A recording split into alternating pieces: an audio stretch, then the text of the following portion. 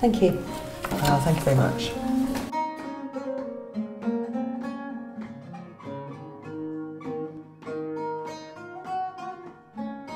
We're all trying to learn uh, the best ways to uh, cook uh, seaweeds because um, actually they're very delicious when they're cooked right as, uh, as um, you would know if you went into a Japanese restaurant.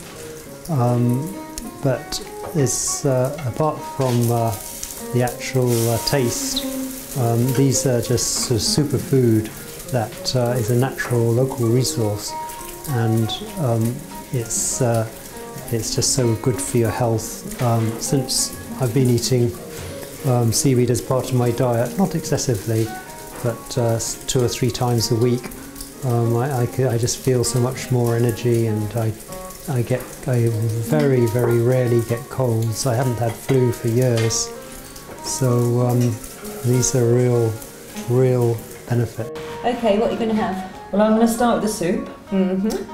And then I think I'm going to go for the seaweed crepes and prawns, but I do want a burger as well, a wakame burger. Yeah, that's what I'm going to go for. It's ages since I had wakame. Yeah, what what's the Schleierback pate? I suppose that's some sort of seaweed as well, is it? I've no idea. Okay. Yeah, I'll do that. I'll go for the soup and the wakame burgers, I think. Uh, I'll go for the soup and Stills bread and the schlau pate. Yes. Yes. Um, it's complicated. Yeah, it's very good. Very good. It's good. Yeah. yeah okay. I'll try it.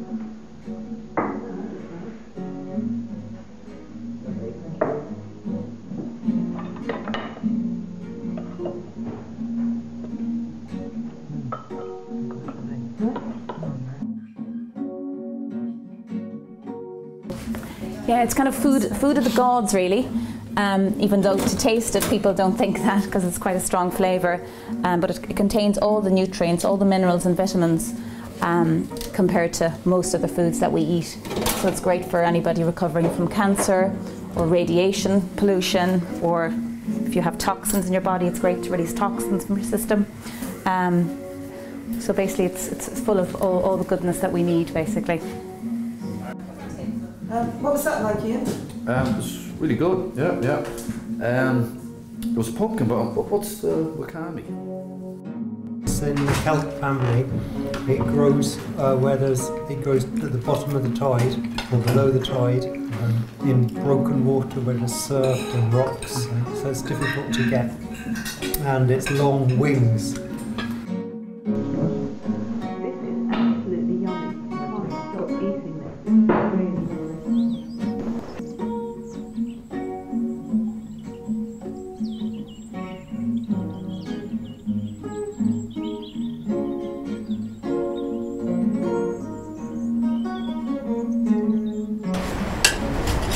you're using seaweed in the ground. Yes, we're using seed as one of the um, the uh, covering substances, along with horse manure, just to um, kind of mulch the ground and keep moisture in. And, and the worms will come up from the bottom and take the nutrients from the. We just put it on the top layer, and the worms will come up and take what they need from the horse manure, from the seaweed, and they'll go back down then and, and do their thing in the soil. Um, for harvesting. I use a curragh, which is a traditional Irish boat uh, that's still used on the Aran Islands to go backwards and forwards to the mainland. And it's um, it's uh, it's very useful for the um, for a work boat because it draws um, tiny amount of water, useful for getting to places at low water or uh, getting high up the beach at high water to unload and um, with a big outboard motor on the back it goes fast enough to cut down the travelling time in the big uh, spread out area that we uh, harvest. Um, and furthermore it can carry a huge payload um, of seaweed um, back to the farm. They were big strong guys yeah. really healthy you know. No. You'd want to be tough if you were paddling a curragh around. It was life and death. Yeah, yeah, yeah. But you were forgiving, you know, you couldn't, you know. Okay. So they lived on the, they did literally live on the edge, you know. Yeah.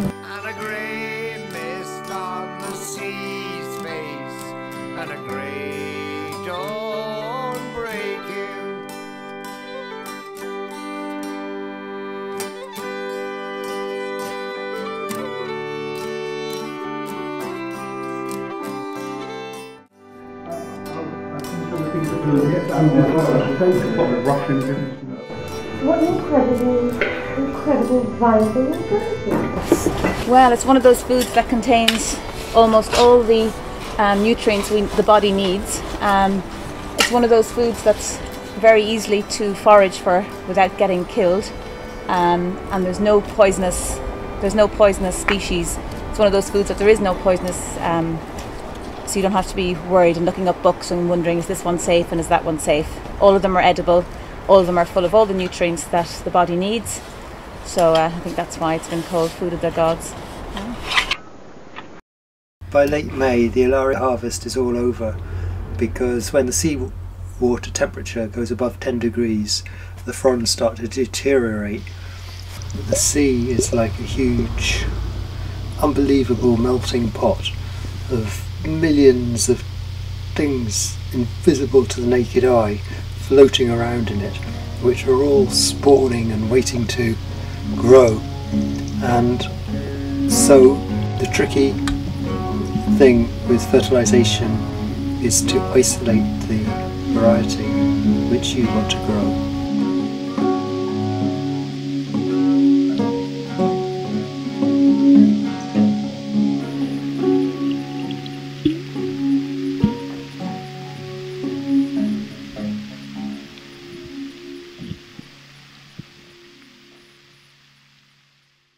Freddie Omani has um, achieved a high degree of success at growing Alaria esculenta um, or uh, dabberlocks um, to some people, and um, that's that's that's the uh, thing that we grow in the uh, Roaring Water seaweed farm.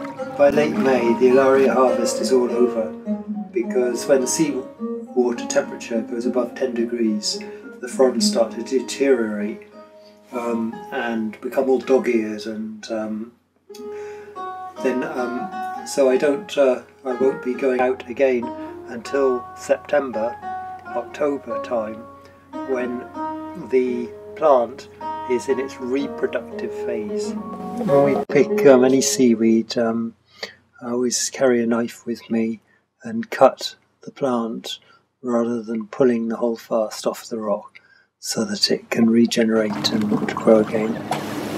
The first time I went out looking for the plant at this time of the year, I couldn't understand it because the plant that I recognised was not to be found because all the fronds have disappeared and only the, the base, the reproductive organs at the base of the plant are there to release their reproductive spores.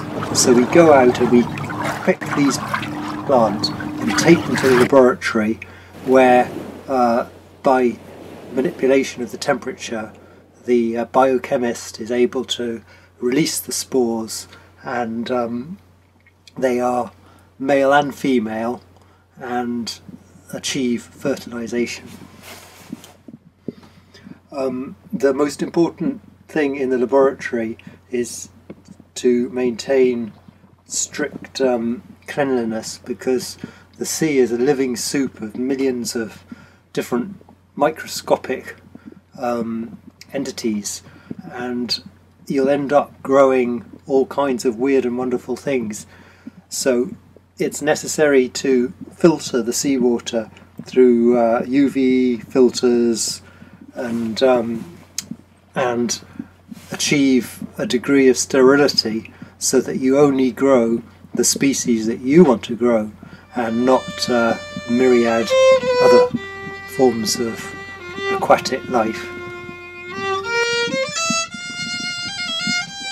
Um, after about two months, um, the uh, seeds have um, been impregnated onto string um, and grown big enough, tough enough, although they're still microscopic uh, to the human eye, to transfer out to sea.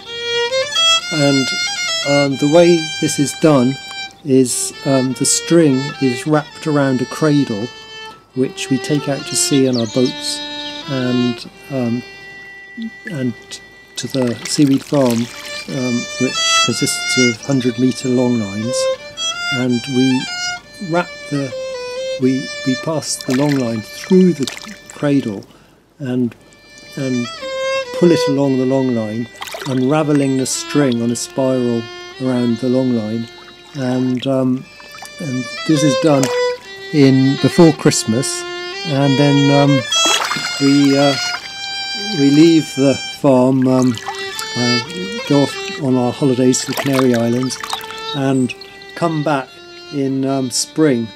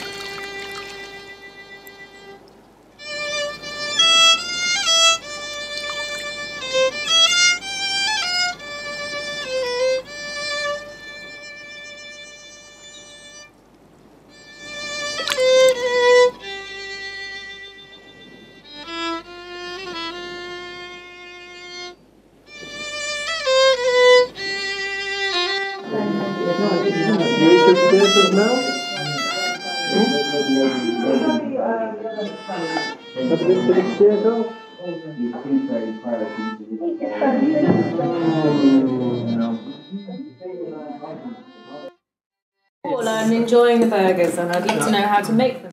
We have to um, we have to mill the seaweed because seaweed's uh, very um, tough stuff, and uh, you need um, very good teeth to deal with the uh, raw product.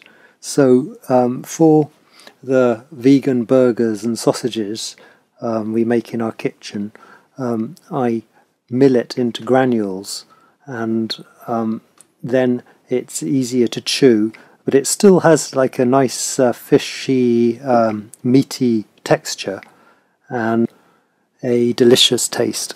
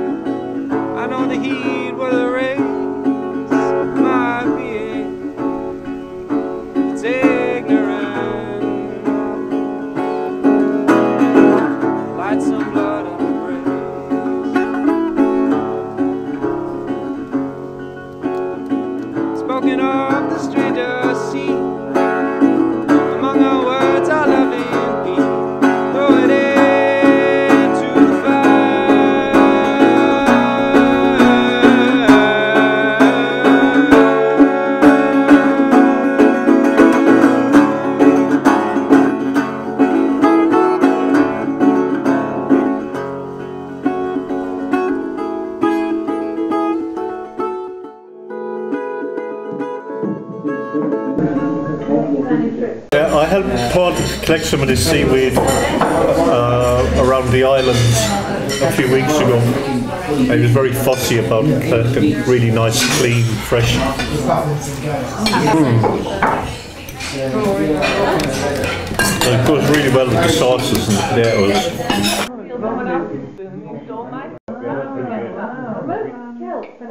What do you think? What do you think of it? Delicious. She is speaking. Cafe lives on.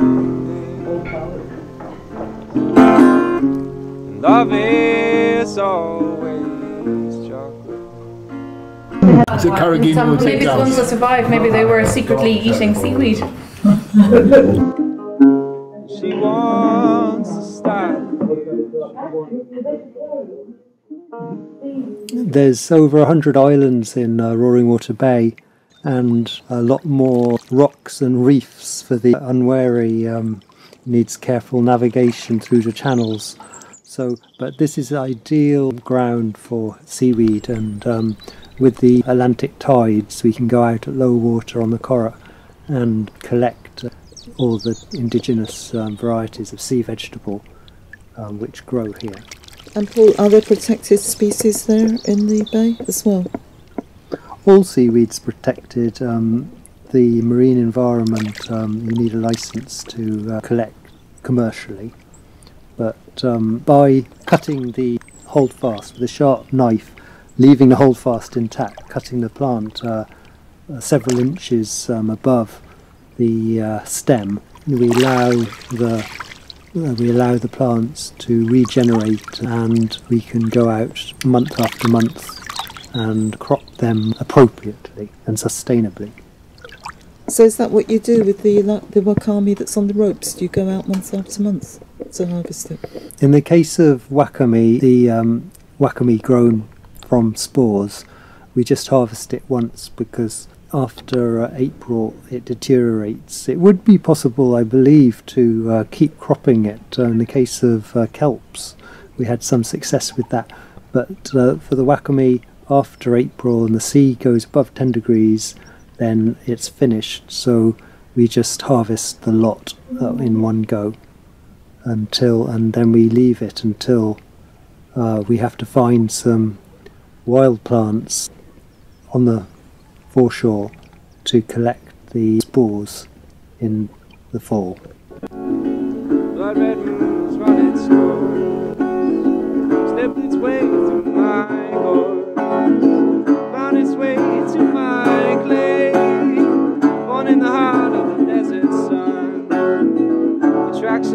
By the one that you love. Long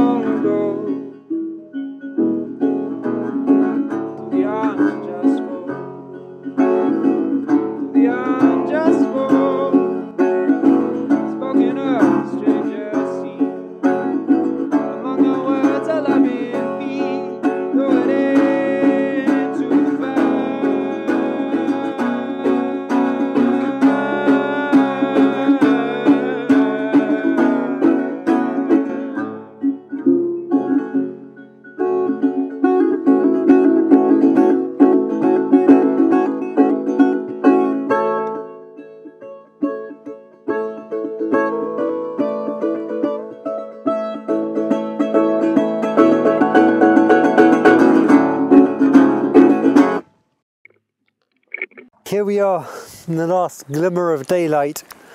A slight uh, tint of uh, rose in the mountains over the sheep's head on a smoky October evening and growing on the rocky seashore.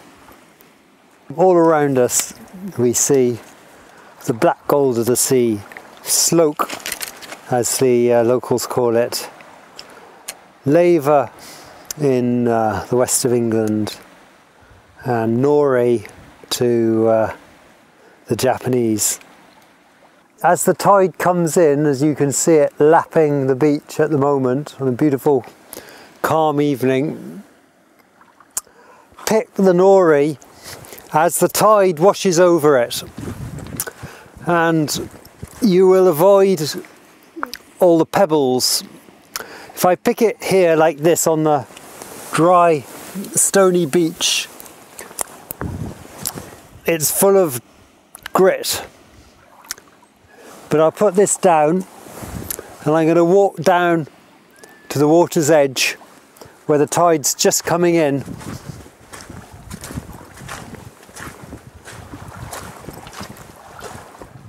Now, without getting my feet wet, I'm going to pick some here. And as I pick it, I just wash it in the tide that's lapping around.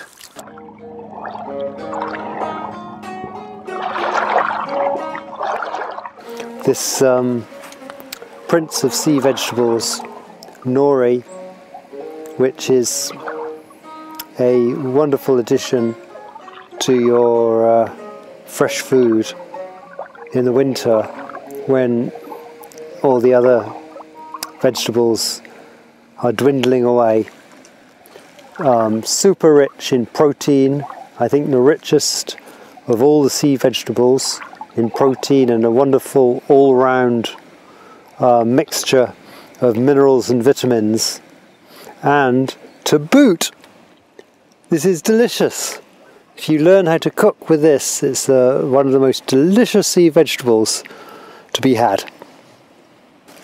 Leaving the uh, nori behind, we're uh, walking over a bed, beds of serrated wrack, wonderful for your uh, for your baths. Um, if you take some home, dry it if you like, and um, put it in a an old um, net from your lemons or oranges that you buy in the supermarket, and put it in your bath, and it'll give your skin a wonderful um, tonic and leave it uh, with a nice silky complexion. No need to go to Boots for this.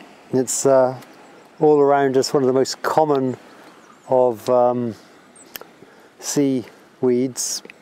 Here in front of me is a bit of sea lettuce, which is like, if you like, the green nori. Again, a delicious thing to be eaten as a salad, but try to pick it fresh when it's green and succulent, as it is um, one of the few seaweeds that can have microorganisms that aren't that don't agree with our systems.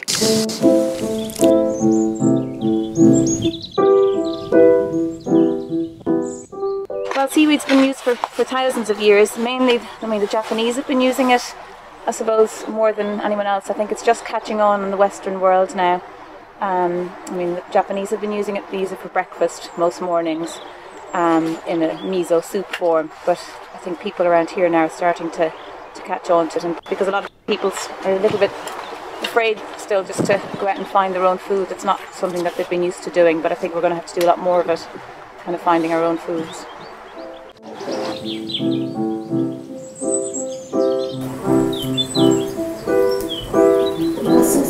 is this? This is carrageen moss. And what do you do with this? Basically, it can be um, put into some milk with uh, vanilla pods, uh, brought to the boil, strained, um, and then um, mixed with egg yolk, and it makes an actual um, milk pudding like a creme brulee. Um, and it's great for the lining of the lungs. And now's the time to be nourishing the lungs, so it's great to, to nourish that. As, as a child, I was ran around the house with a spoon of this every winter. I'd run a mile. A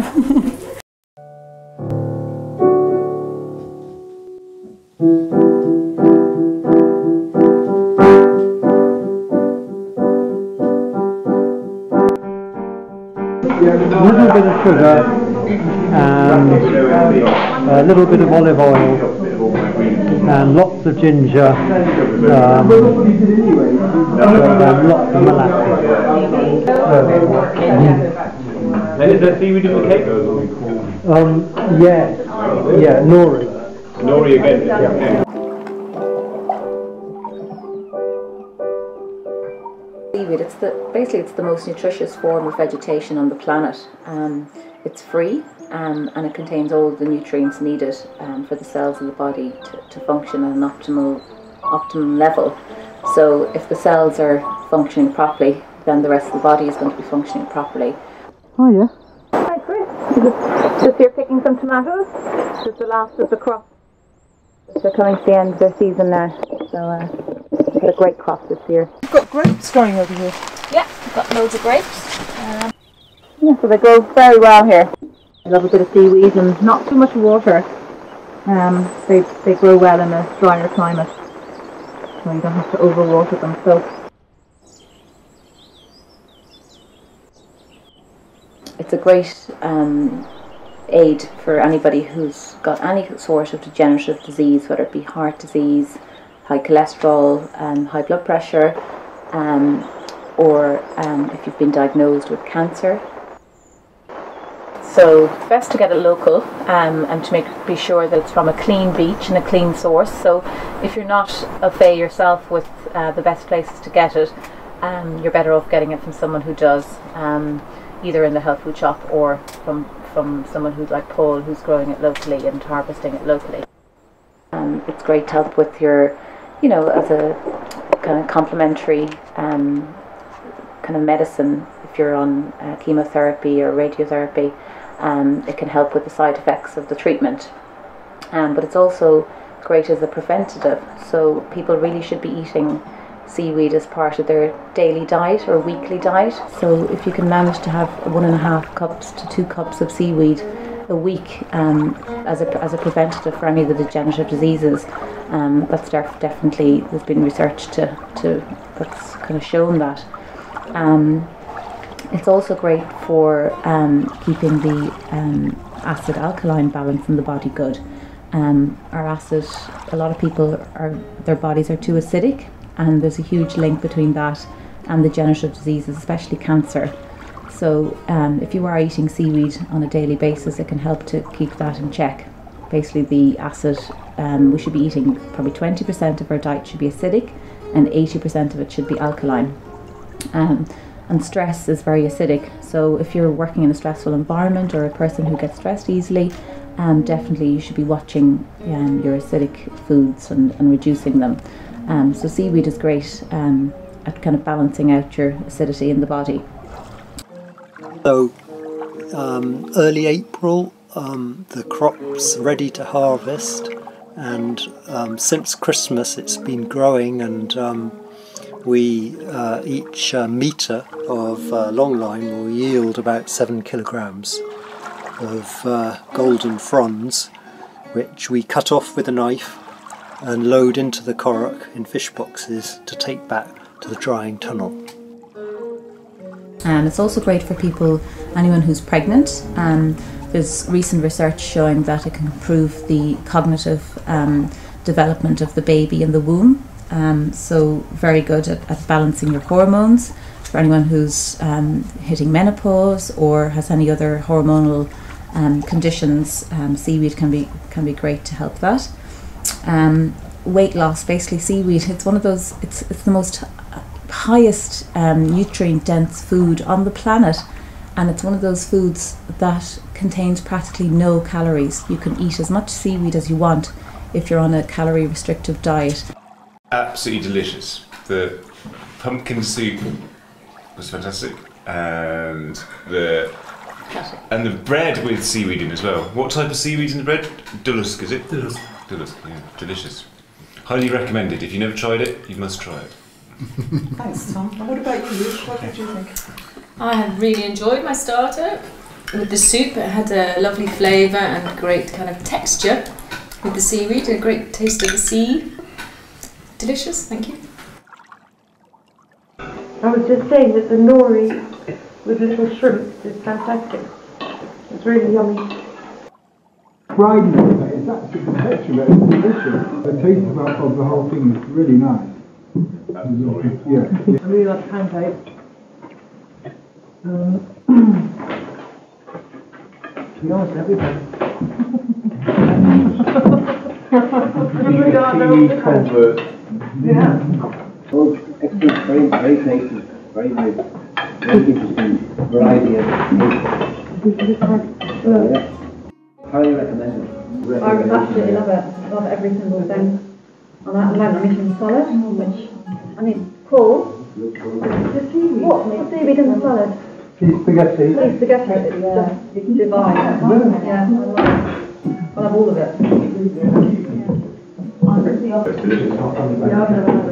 I haven't tried it yet. I'm going to. I'm just about to. Um...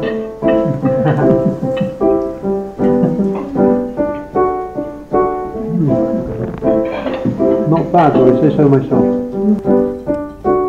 I walk along the empty beach, smile to the wind.